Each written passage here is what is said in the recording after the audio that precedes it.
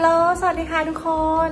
ตอนนี้นะคะแอนมาอยู่ที่จังหวัดระนองนะคะ เดินทางมาถึงนะคะ วันนี้เลยนะคะ ก็เดินทางมาจากกรุงเทพนะคะ แล้วก็เหตุผลนะคะที่แอนมาเที่ยวที่ระนองเนี่ยแน่นอนนะคะ เพราะว่าแอนกับพัซานเนี่ยชอบเมืองนี้มากเราเคยมาเมื่อประมาณ4-5ปีที่แล้วนะคะ แล้วก็แล้วก็มีอีกธุระหนึ่งที่เราต้องทำก็คือการทำวีซ่ารันนะเพราะว่าฮัซานเนี่ยเข้ามาด้วยวีซ่านักท่องเที่ยวนะคะ ซึ่งจะอยู่ได้แค่ 45 วัน ดังนั้นเนี่ยเราต้องเดินทางออกนอกประเทศแล้วระนองนะคะ ก็ติดกับประเทศพม่านะ ก็เลยเลือกนะคะ แล้วก็ตัดสินใจนะที่จะมาเที่ยวที่นี่นะคะ แล้วก็ทำวีซ่าไปด้วยนะทุกคน แต่ว่าก่อนนะคะที่จะพาไปดูนะว่า การทำวีซ่ารันนะคะทำยังไงนะคะ ทุกคนก็เดี๋ยววันนี้นะคะ มาถึงวันแรกมันมาตรงกับวันเสาร์พอดีนะ มันมีตลาดนัดคนเดินนะคะ แล้วที่พักนะคะที่โรงแรมที่ยันอยู่ก็ใกล้กับตัวตลาดนัดนะคะ เดี๋ยวเราจะพาทุกคนนะคะ ไปเดินเล่นในตลาดนัดกันนะคะ แล้วก็เดี๋ยวรอติดตามนะคะว่าทริปนี้นะคะที่ระนองนะจะมีอะไรน่าเที่ยวน่าสนใจบ้างนะคะ ทุกคนรอติดตามค่ะนี่นะคะเป็นโรงแรมที่พักของเรานะคะ เดี๋ยวเราจะเดินนะคะ ไปที่ตลาดนัดคนเดินนะ ซึ่งอยู่ไม่ไกลนะคะ แต่ว่าเดี๋ยวตอนนี้มันดึกแล้วนะ ยังไม่ได้รีวิวที่พักให้ดูนะคะ ก็เดี๋ยวพรุ่งนี้เช้ามารีวิวให้ดูแล้วกันนะคะ ทุกคนตอนนี้ไปตลาดนัดกันก่อนดีกว่าค่ะ เห็นแล้วมาร์เก็ตอยู่ตรงนี้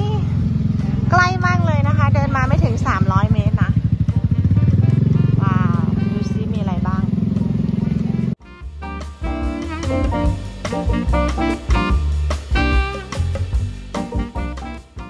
ถึงแล้วนะคะทุกคนเมื่อกี้ไปสอบถามข้อมูลมานะคะ เดือนนี้นะพิเศษนะคะ เดือนธันวาเขาอะเปิดนะคะ เพราะว่าช่วงโควิดมันปิดมานานนะคะ เปิดเป็นวันศุกร์ กับวันเสาร์นะคะ แต่ถ้าเดือนหน้าเนี่ยเขาจะปรับนะคะ ก็คือจะเปิดแค่วันเสาร์วันเดียวนะ แล้วก็อุ๊ยฮัสซันชอบขนุน maybe you want some jackfruit เดินเล่นกันนะเพิ่งเริ่ม จะซื้อเลย แล้วก็เท่าที่สอบถามนะคะเขาอะ เปิดตอน 5 โมงเย็นนะคะ ทุกคนเขาก็เริ่มมาตั้งร้านกันแล้วนะ แล้วก็ 4 ทุ่มนะคะแม่ค้าก็จะเริ่มเก็บของกันแล้วนะ ดังนั้นเนี่ยไม่ได้เปิดตลอดนะคะ แล้วก็ 4 ทุ่มเนี่ยเขาจะเปิดให้ถนนเนี่ยเอารถวิ่งได้แล้วนะคะ ดังนั้นถ้ามาก็มาช่วงเย็นๆนะ6โมงทุ่มหนึ่งนะคะกำลังพีคๆนะคะ ตอนนี้ก็เป็นเวลาประมาณทุ่มนะทุ่มกว่านะคะ ร้านค้าก็เต็มแล้วนะคะ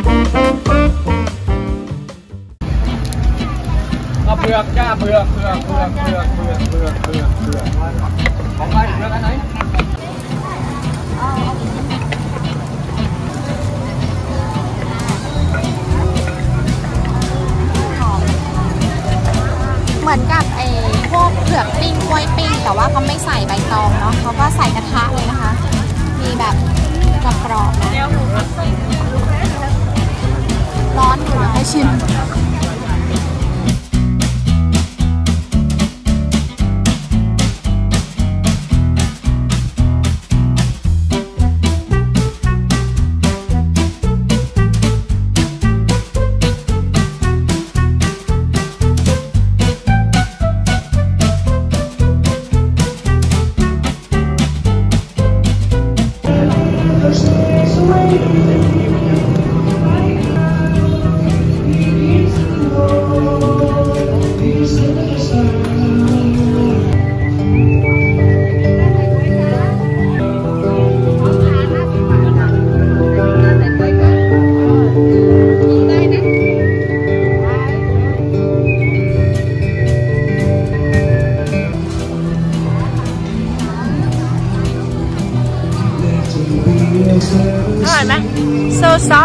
ูนุ่มไก่ปะเนี่ย หมูไก่อันนั้น I didn't look is it a chicken or pork นุ่มมากอะ อร่อยเนาะ I don't know chicken or pork ลืมอ่าน นุ่มมากอะ เดี๋ยวพี่ต้องหาแม่ก่อน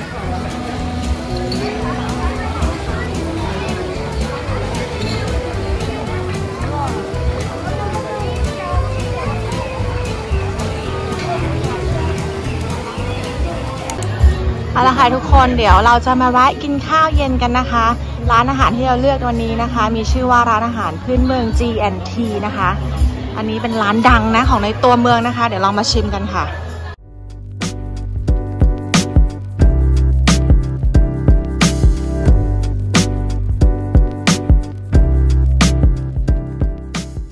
มันไม่เหมือนกับที่อื่นยังไงคะต้มยำต้องรสต้องลองครับรสชาติที่ไม่เหมือนใคร หรอแต่แรกเป็นกุ้งแม่น้ำร้อยเปอร์เซ็นต์ด้วยเป็นกุ้งแม่น้ำธรรมชาติมากอ๋อจากที่นี่ที่ค่ะนี่เองเลยแล้วก็ว้าวมันใช้น้ำเค็มกับน้ำจืดแล้วก็บางครั้งก็อีกกับน้ำเค็มอีกกับน้ำจืดแล้วก็มันและทะเลอันดามันเนี่ยน้ำคือลงสองเที่ยวอ่าใช้เวลาเชื่อมันแล้วกุ้งมันจะเล่นน้ำทะเลอยู่ตลอดเวลาก็จะเนื้อแบบเด้งๆอย่างเงี้ยใช่เนื้อแน่น จะไม่เด้งมากที่นี่เพราะเราบีบแล้วอ่าอ่าอ่านึกออก แล้วอะไรแนะนำอีกคะแล้วก็อันนี้ก็เป็นอาหารพื้นเมืองเป็นยาวเยซึ่งเป็นคล้ายสลัดนะครับแต่เปรี้ยวหวานกลมๆ มันก็จะแบบเป็นแนวอิสชไม่ใช่ไม่ใช่ชนิดไอ้สไตล์มันจริงๆมันมาจากเอ่อของยาวเยของจีนนะครับของคือจีนเขาใช้ชื่อปลาหมึกเป็นชื่ออาหารอ๋อชื่ออาหารยาวชื่ออาหารเป็นชื่ออาหารก็ปลาหมึกก็เลยชื่อยาวเยที่จริงภาษาฮกเกี้ยนเขาเรียกยูหูหลิวคำมันเพี้ยนเป็นยาวเยอ๋อยูหูยูหูปลาหมึก Chinese อ่าภาษาชีนิดระนองเขาเป็นชนิดฮกเกี้ยนนะครับโอเคเหมันหมูคอถ้าทานหมูอร่อยถ้าทานหมูเนี่ยอันนี้เราหมักคืนเลยนะหมักคืนกันเลย แล้วพรุ่งนี้ก็ตุ๋นอีกสองชั่วโมงเอ่อแล้วใช้เนื้อสองอย่างเนื้อขาหน้ากับเนื้อสามชั้น อันนี้เป็นอาหารพื้นเมืองของระนองอ๋อ this is อันนี้ด้วย local แกงจืดนี่ด้วยนะครับ พื้นเมืองระนองโอเคพื้นเมืองระนองแต่ว่าผักเหลียง ผักเหลียงอ๋อถ้าผักเหลียงก็ทานแล้วไม่รู้แต่ว่าที่นี่ผัดจะไม่เหมือนที่อื่นจะนุ่มอ่าที่อื่นจะมาใบเขียวๆมันมาแล้วไก่จะชนิดจะนุ่มหอม นุ่มอ่ามันเป็นเรีกหลายอย่างเนาะหลายอย่างครับ อันนี้ก็ยำก็ไม่มีใครยำยอดไก่อยู่ยอดมะม่วงหิมพานต์เนี่ย อ๋อกาอยู่คือมะม่วงหิมพานเอาต์ยอดมะม่วงมานะครับ เราเรายำอ๋อยอดมะม่วงครับเรามาก็คือต้นยำยำแบบว่ามันเหรอยอดไปเลยครับใบมันใบต้นอ่อนๆนะครับอ๋อ เรามายเป็นใบำอันนี้ก็ไม่มีใครยว้าวำอ่าอันนี่มีใครยำเอาต้มยำกุ้งหนึ่งที่ แล้วก็ you wanna try this ยาวเย่ Yeah. ไม่เผ็ดใช่ไหมคะอันนี้ไม่เผ็ดครับรสคล้ายๆสลัดอันเนี้ยเผ็ดเปรี้ยวหวานคล้ายๆสลัดกลมๆอ่าเบาโอเคเอายำ ๆเป็นสลัดมากกว่ายโอเคยาวเย่หนึ่งำของทานเล่นในครอบ Then ครั maybe ว just come back another day for the เอ rest อ or เดี๋ยวขอสั่งสองอย่างก่อนกิได้นไม่หมดเอาข้าวไหม่ข้าวไหมเอาข้าวหนึ่งข้าวจานเดียวพอที่นะค่ะ got เจ็ดแปดอย่างที่มีที่ไหนอ๋อเจ็ดแปดอย่างที่ว่าไม่มีที่ไหนหากินไม่ได้เลยได้ที่นี่ที่เดียวเขาไม่เคยทำนะอ๋อ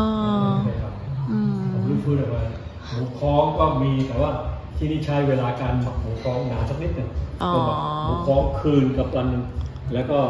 แล้วก็มาตุ๋นอีกสองชั่วโมงว้าหมูวคล้องตัวนี้ครับอ่า หมูสามชั้นนี่ใช่ไหมคะ มันสามชั้นกับเนื้อขาหน้าเราไม่ใช่แค่สามชั้นอย่างเดียวอ่าผสมภูกันเก็ตจะเรียกหมูฮ้องแปลว่าหมูแดงแล้วเราหมูคล้องแปลว่าหมูตุ๋นอ๋อคนพกกินด้วยกัน พี่เป็นคนฮกเกี้ยนฮกเกี้ยนอ่ามีผัดหมี่ฮกเกี้ยนไหมคะ ไม่มี That's one I กิน like ก็ a lot. มีขายที่กินก็มีที่พ่อตะกี้เคยไปกินที่ตรังอะอ่าอร่อยอยู่นะ มีครับแบบที่เขาใส่ไข่แฉะๆนิ่มๆเออแช่แช่เขาแปลกอะผมก็ยังผัดได้นะแต่ผมไม่ได้ผัดเป็นงานเวลาไหว้อ่าเวลาไหว้เจ้าไหว้หรือเราเราจะผัดกันอ่ามันจะมันจะนุ่มอะแต่เขาใส่เขาเขาใส่เขาเนี่ยใส่เราไม่ใส่ถั่วงอกเราจะใส่ผักไอ้ปังตุ้งฟังตุ้งอ่าแล้วก็ผัดผัด มุผัดยังไงผัดเส้นมันนุ่มแต่เส้นยังเป็นเส้นอยู่อะเออเออนึกอเพอราะกว่าเส้นนี่มันสำคัญต่อต่อเขาเรียกต่อการเขาเรียกเส้นยาวเลยอ่าอ่าไม่ให้ขาดอ่าอันเนี้ยอืมจริงผมมีอยู่สามตัวมีหมูค้องมีชุนเปี๊ยะมียาวเยตอนนั้นที่ทำอยู่อยู่อยู่แรกๆเลยนะแต่ไม่เน้นพอมันเป็นท่องเที่ยวเราก็เห็นเอ้ยก็ขายเขาขายทั่วไป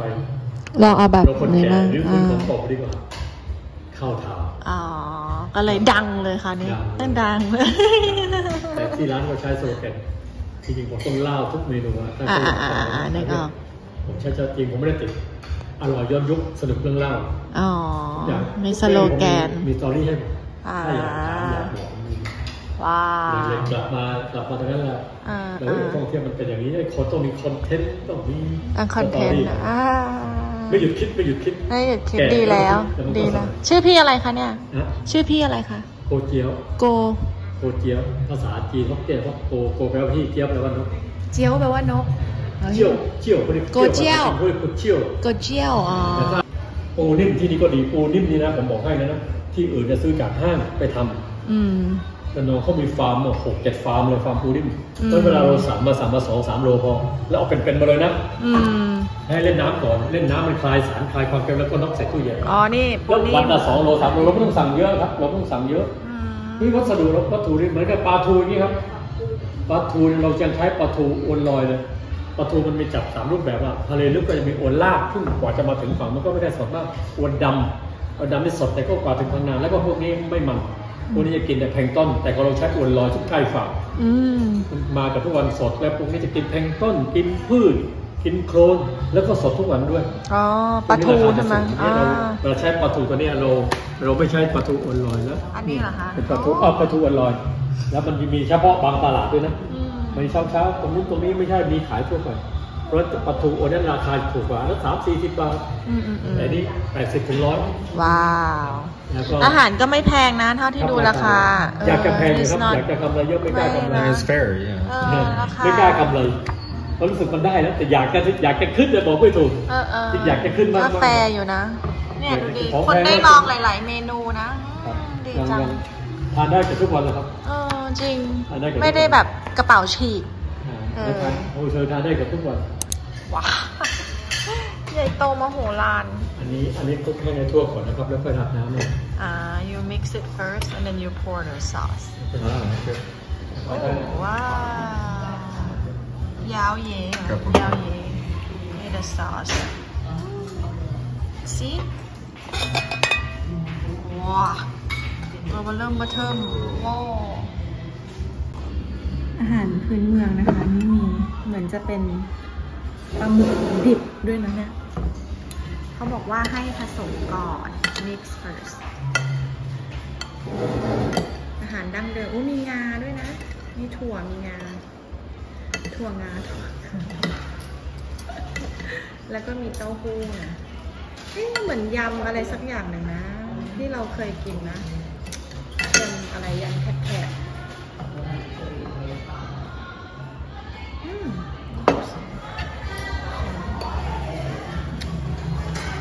เหมือนน้ำจิ้มปลาหมึกนิดๆไม่เผ็ด look like spicy but it's not spicy เปรี้ยวๆหวานๆ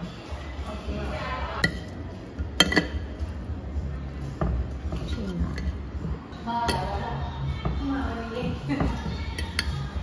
ปลาหมึก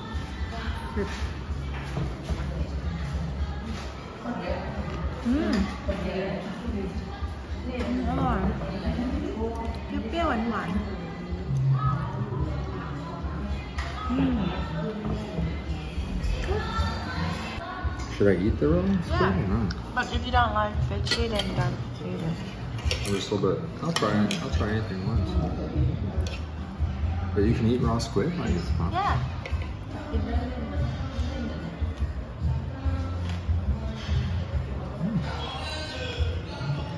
like it Good. เข้ามาดูใกล้ๆควันเรากุ้งใหญ่มากดูหน้าดิสี่ตัวนะคะ นี่สามร้อยกว่าบาทเลยสุดยอด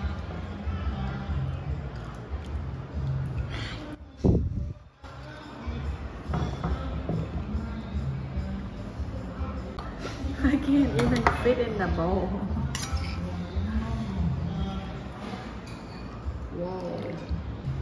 บอกว่าวิธีกินไม่ต้องใส่ช้อน ไม่ต้องใส่ไม่ต้องใช้ช้อนนะคะ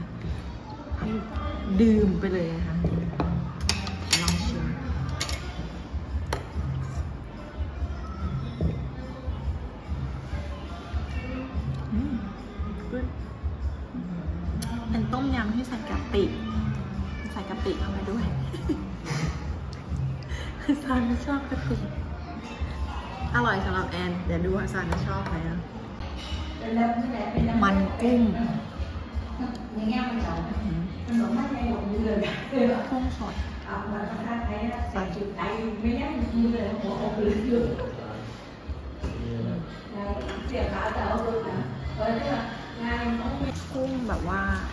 เน้นๆนะคะ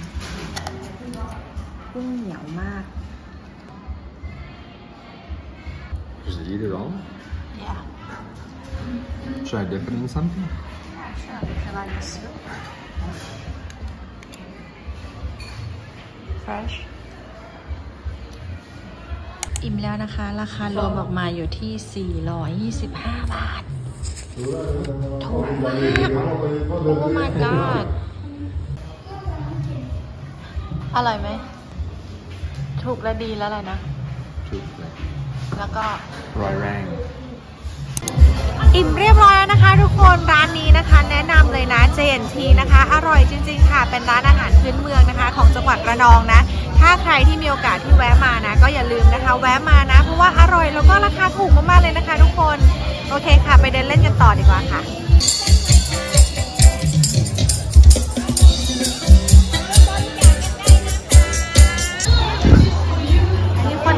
กินไปแล้วนะคะ นี่ขนมหวานหลังจากกินข้าวเสร็จแล้วนะ เป็นข้าวเหนียวปิ้งนะเออเฮ้ยอร่อยนะ you like it หอมแล้วก็มีความกรอบๆด้วยนะกรุบๆนะคะ อร่อย 20 บาทเอง นี่เขาบอกว่าเป็นขนมเบื้องโบราณนะคะ จะมีแค่ที่ระนองนะ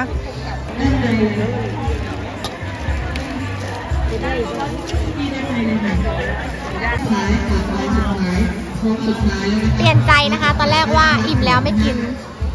แต่ว่า มาแล้วก็ต้องชิมนะคะ เดี๋ยวจะชิมให้ดูนะเขาบอกว่าห้ามพลาดนะ ขนมเบื้องของระนองนะคะ เป็นขนมเบื้องโบราณนะคะ ทุกคนร้านนี้นะคะมีชื่อว่าขนมเบื้องโบราณนะคะ เจพานะซึ่งตอนแรกกะว่าจะไปกินพรุ่งนี้นะนึกว่าเขาอยู่ในตลาดแต่ไม่ใช่นะคะ บ้านเขาอยู่ไกลก็เลยเดี๋ยวซื้อชิมเลยนะ ราคาถูกมาก 3 ชิ้นนะคะ ชิ้นเบลอเลย 3 อันนะคะ 20 บาทเท่านั้นเองนะคะ ทุกคนเมื่อกี้ถามแล้วนะไอ้น้ำตาลน้ำตาลนี่เป็นเหมือนกับน้ำตาลมะพร้าวเคี่ยวนะคะ ทุกคน แล้วก็โรยด้วยมะพร้าวขูดนะคะ สุดยอดก็ไม่เหมือนกันไงขายมากี่ปีแล้วจ๊ะขายมาสี่สิบปีแล้วปะ40 ปีแล้วว้ายนี่ลูกชายแต่ลูกชายไม่มีอะนี่ลูก อ๋อชายสวัสดีค่ะ ขายมา 40 ปีแล้ว อันนี้เป็นเจ้าแรกเลยปะเนี่ย เจ้าไม่แรกเลยสามรุ่นสามรุ่นแล้ว อ๋อ ว้าว มันเป็นขนมเบื้องที่แบบสูตรเหมือนคนพม่าหรือว่าอะไรไม่ใช่ใช่แต่ว่ามันโบราณละนองนานมาแล้ว อ๋อ โบราณละนองยังงั้นมันกระทีมมาจากไหนกันเนี่ย มาจากกรุงเทพจ้ะแต่หนู เคยมาแล้วห้าปีที่แล้วแล้วก็แบบชอบก็เลยแวะมาอีก ไปอยู่ที่อเมริกามาแล้วก็กลับมา มีลูกค้าคนหนึงก็เป็นคนกรุงเทพนะคะนึกว่าเขาเป็นคนละนองก็คือต้องมาละนองตลอดแล้วต้องมาซื้อขนมเบื้องอ๋อที่บ้านเพราะเหรอ มาเลยค่ะต้องไปที่บ้านต้องไปถึงบ้านเลยเหรอ ค่ะว้าว นี่นี่นี่เอเอออก็เป็นคนละนองปีเอปีอชอบชอบไป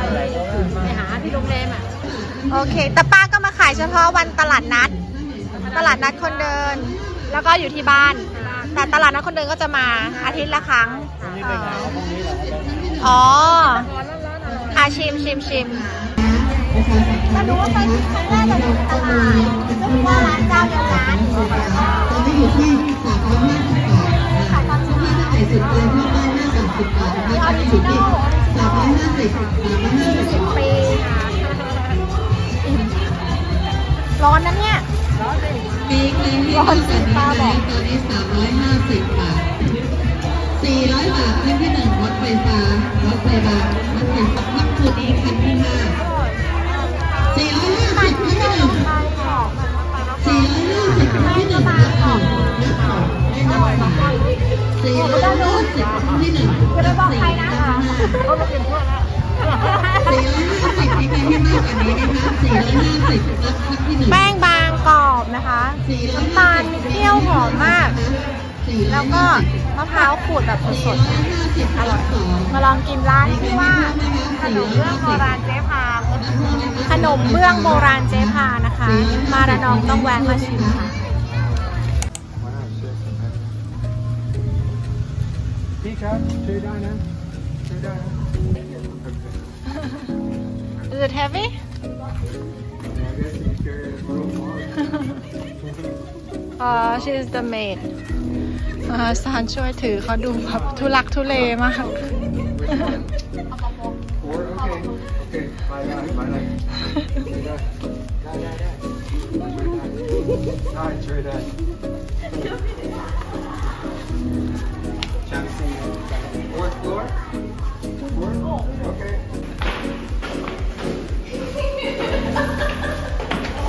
ขำใหญ่สาวๆขำใหญ่เออแล้วที่นี่ไม่มีลิฟต์นะคะซันก็เลยช่วยถือมันหนักมากนะคะ ทุกคนน่าจะเป็นแม่บ้านชาวพม่านะคะ แต่ว่าแอนเป็นรอที่ห้องเลยค่ะ เอาละค่ะทุกคนตอนนี้นะคะแอนก็กลับมาถึงที่ห้องพักแล้วนะคะ เป็นยังไงกันบ้างคะทุกคนชอบบรรยากาศถนนคนเดินที่จังหวัดระนองไหมคะ ที่นี่นะแอนกลับมานะคะ เป็นครั้งที่ 2 แล้วนะคะ ก็จำไม่ได้นะว่าครั้งล่าสุดที่มาเมื่อไหร่นะ แต่ถ้าให้เดาก็ประมาณ 5 ปีที่แล้วนะคะทุกคนก็ไม่ได้มีความเปลี่ยนแปลงอะไรเยอะมากนะคะ ระนองก็ยังคงเป็นเมืองที่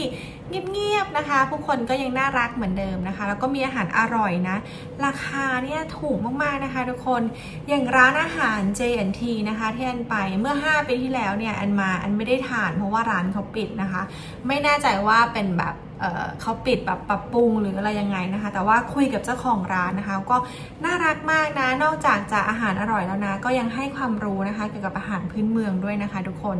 ก็เออเป็นครั้งแรกนะที่ได้มีโอกาสได้มาชิมนะคะ ซึ่งต้องบอกเลยนะคะว่าอร่อยจริง ๆ นะ แต่ว่านะทุกคนถ้าใครที่พาชาวต่างชาติมานะคะ ก็จะต้องดูนิดนึงนะคะ เพราะว่าส่วนใหญ่ชาวต่างชาติเนี่ยเขาจะไม่ค่อยชอบรสชาติของกะปินะ แต่ว่าอย่างต้มยำเนี่ยนะคะ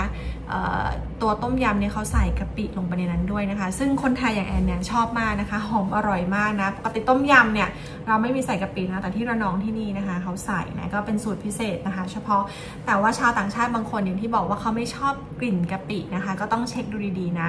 แล้วก็อาหารเมนูอื่นๆนะคะ ที่มีให้ลองเนี่ยอีกเยอะเลยนะเดี๋ยวแอนก็ต้องกลับไปชิมอีกนะคะ แล้วก็ที่สำคัญนอกจากรสชาติจะอร่อยนะคะ ทุกคนก็คือราคาค่ะ ราคาถูกมาก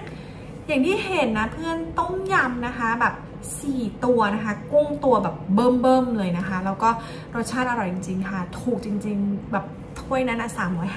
ะ มันหากินที่ไหนไม่ได้แล้วกุ้งสดมากเลยนะคะ แล้วก็อย่างที่บอกเดี๋ยวยังไงก็ต้องกลับไปชิมอีกรอบแน่นอนนะคะ แล้วก็ตัวถนนคนเดินนะคะ ตรงตลาดนัดนะ แม่ค้าพ่อค้าก็น่ารักมากนะคะ หมูสเต๊กก็อร่อยขนมเบื้องก็อร่อยนะคะ ราคาก็ถูกนะคะ แล้วก็เอาจริงๆนะเท่าที่เดินถ้าเพื่อนสังเกตนะก็จะมีแต่คนแบบพื้นที่นะคะ ไม่ก็เป็นคนต่างจังหวัดนะ แต่ว่าจะไม่ค่อยเห็นชาวต่างชาตินะคะ ชาวต่างชาติส่วนใหญ่ที่มาระนองนะเขาก็จะบินตรงลงมานะคะแล้วก็นั่งรถตู้นะคะ ตรงไปที่ท่าเรือนะแล้วก็จะไปเที่ยวพวกเกาะพยาม เกาะช้างอะไรพวกนี้นะคะ ก็ไม่ค่อยมีนักท่องเที่ยวนะคะ ที่เป็นชาวต่างชาติเนี่ยแวะมาเที่ยวที่ในตัวเมืองจังหวัดระนองเท่าไหร่นักนะดังนั้นนะบรรยากาศมันก็ยังมีความเออเหมือนกับแบบมีความโลโก้นะคะ มีความเป็นสำหรับแบบคนพื้นที่แล้วก็เงียบๆอย่างที่บอก ก็ถึงได้เป็นเมืองนะคะที่แอนกับปาซานนะประทับใจและชอบที่สุด เพราะว่าเงียบสงบดีจริง ๆ เลยนะคะ ก็เอาเป็นว่านะคะเดี๋ยวพรุ่งนี้นะคะ ตื่นเช้ามาอันก็จะมีไปกินไปเที่ยวอีกนะ แต่เดี๋ยววันนี้อันเหนื่อยแล้วนะคะ ทุกคนก็จะขอตัวพักผ่อนก่อนนะคะ แล้วก็ยังมีคลิปนะคะ เดี๋ยวจะพาไปเที่ยวที่ระนองนะคะ อีกหลายที่เลยเดี๋ยวจะพาเพื่อนๆไปนะจะมีทั้งเอ่อบ่อน้ำพุร้อนนะคะ ร้านโรตีอร่อยนะ น้ำตกที่นี่ก็มีนะคะ ก็เดี๋ยวรอติดตามแล้วกันนะคะ เดี๋ยววันนี้แอนขอตัวไปพักผ่อนก่อนนะคะ ทุกคนแล้วเดี๋ยวแอนมาเจอกับเพื่อนๆใหม่ในวิดีโอคลิปหน้านะคะ วันนี้แอนไปแล้วค่ะบ๊ายบาย